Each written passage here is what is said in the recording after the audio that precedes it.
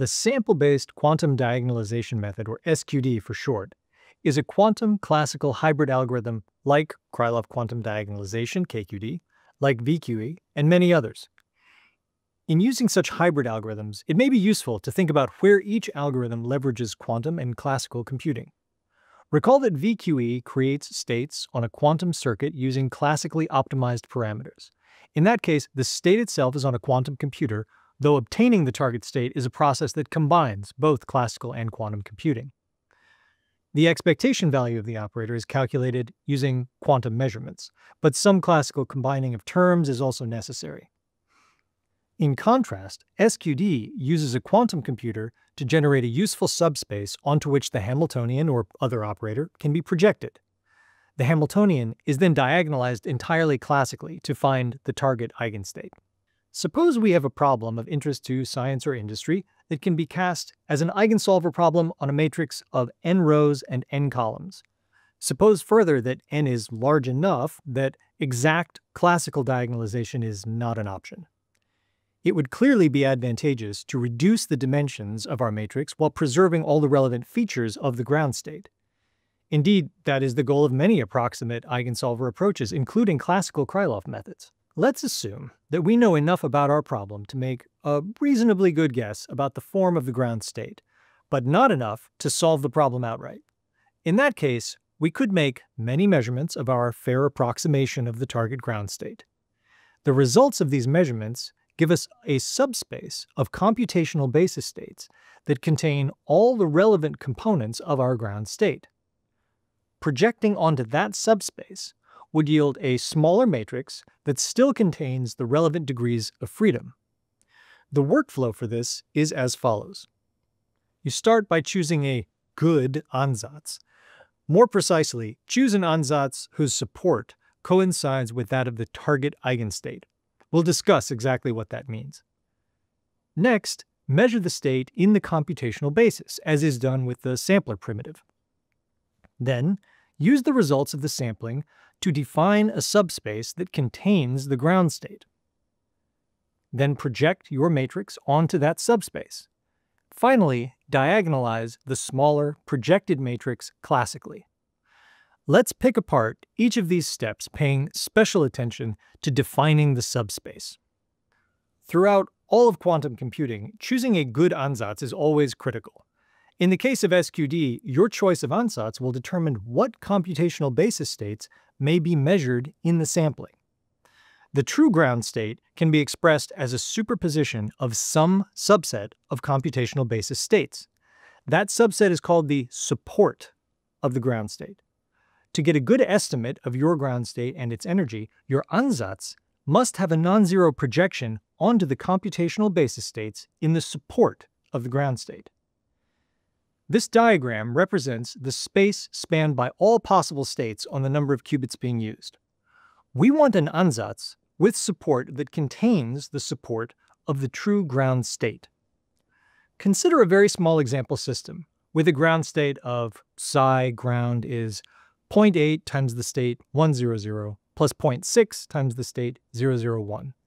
This has support made of those two vectors, 100 and 001. Let's say the ansatz is of the form psi ansatz 1 is a times the state 100 plus b times the state 010 plus c times the state 001, so that its support is the set of three vectors 100, 010, and 001, a superset of the support of the ground state. This is a good ansatz.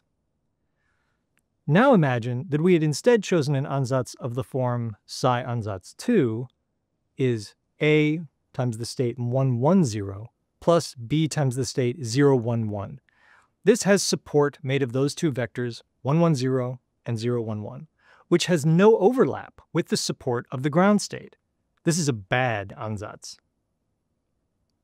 Note that we do not necessarily require that the ansatz be a good approximation of the ground state the ansatz could have much larger support, or the coefficients could be very different on the ansatz and the true ground state and still work well. At this stage, we've used a well-motivated ansatz to make the quantum computer adopt a state similar to our target state. Shown here is the unitary coupled Jastrow or UCJ ansatz, which is very useful in quantum chemistry. We now want to measure the state of the system, obtaining bit strings describing the collapsed state of each qubit.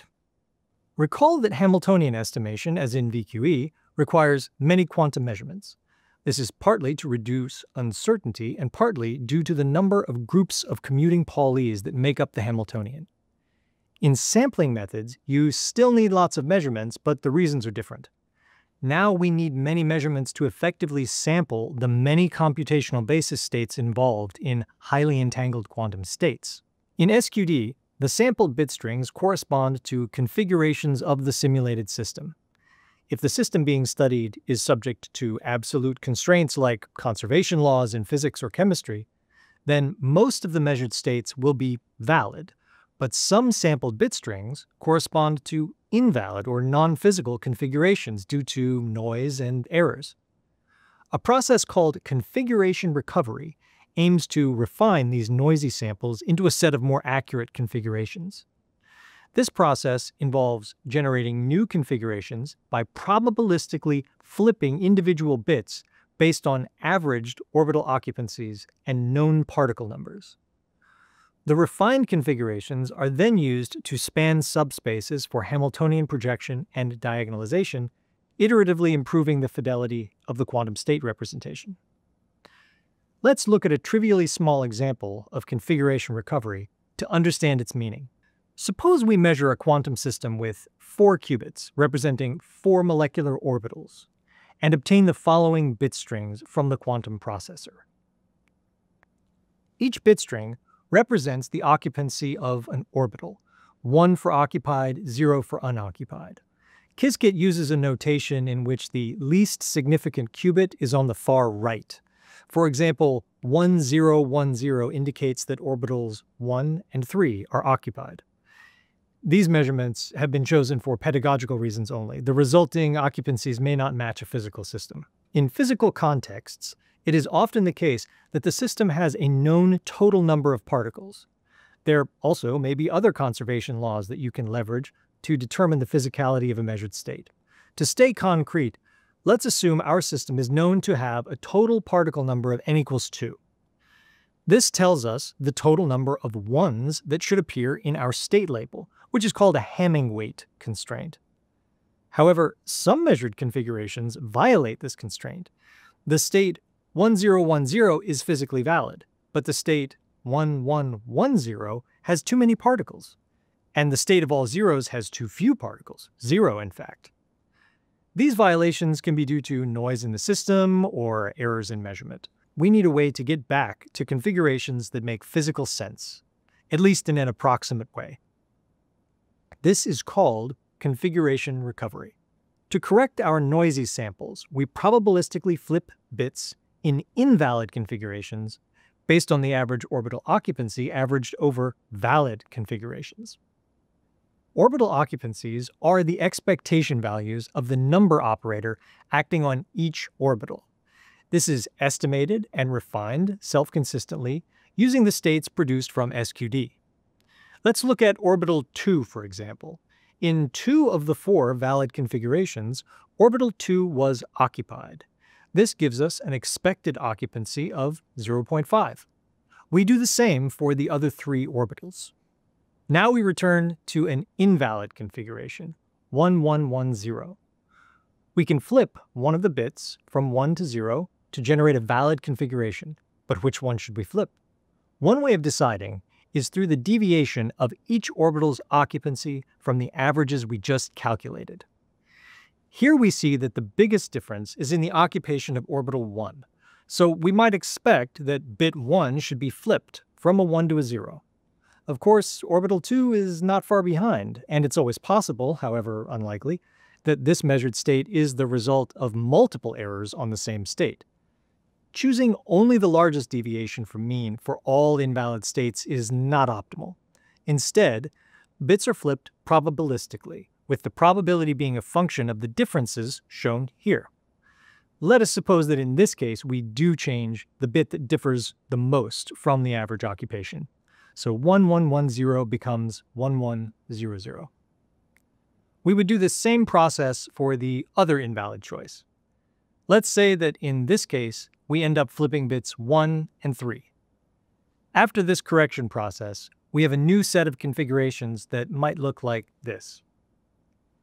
Using this refined set, we can update the average orbital occupancy to improve fidelity. In our case, the new occupancies are these. This iterative recovery process ensures that noisy measurements are filtered into physically meaningful configurations, improving the accuracy of eigenstate approximations in SQD. The SQD Qiskit add-on has some tools that will be instrumental in this process. If we've done a good job sampling the states in the support of the true ground state of the system, then we should be able to look at only the parts of the Hamiltonian that act on this subspace and still obtain a good ground state and energy. In our trivially small 4-qubit example, there are initially 2 to the 4 or 16 possible states of the system. Using a combination of sampling and configuration recovery, we reduce this to three states in our subspace of interest, three states that we hope make up the support of the true ground state. We now project our full Hamiltonian onto that subspace. That is, we make a matrix M out of a column of vectors from our recovered sampled subspace, and an analogous one, M dagger, out of the rows, and we multiply M dagger H M. Pictorially, this means taking the matrix elements in the rows and columns corresponding to the states in our recovered sampled subspace. The highlighted rows and columns are those corresponding to our subspace, and the darker highlighted boxes where they overlap are the elements that we keep for our new projected matrix. Now that we have selected out the subspace of interest, we can diagonalize this matrix on a classical computer using a standard eigensolver. If the true ground state is comprised entirely of states in our subspace, this diagonalization should yield the correct ground state and ground state energy. If we merely have most of the ground state support, we may get close. Once we've obtained the ground state for this projected Hamiltonian, we have a very useful state from which to calculate the average occupancy of each orbital. Previously, our occupancies were calculated from states that we sampled using an ansatz that we hoped would help us approach our ground state. But there was no guarantee that the average occupancy of each orbital from that sampling corresponded to the occupancy in the lowest energy state. Let's back up. We had a sampling of computational states. We used configuration recovery to correct any that were physically invalid. Then we calculated the average orbital occupancy using all of them. The ground state might only include some of them. The ground state of this projected Hamiltonian may not be the true ground state of our original system, but it is the lowest energy state that can be created using any superposition of the recovered states in our subspace. The orbital occupancy of this state will yield an energy less than or equal to the energy of the occupancy obtained from the recovered space. So this occupancy is a better estimate of our ground state occupancy, we can repeat the configuration recovery process using this new occupancy, and we can iterate this until our convergence criteria are met. Sample-based quantum diagonalization is fast compared to other near-term algorithms like VQE. It's more scalable, and it is robust to noise and errors in sampling. It does still require that we prepare a good ansatz, with a large projection onto the support of the true ground state of our system.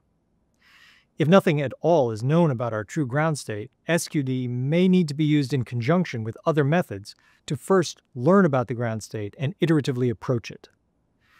SQD plays a critical role in the emerging suite of classical quantum hybrid algorithms and is one of the greatest drivers toward useful quantum computing.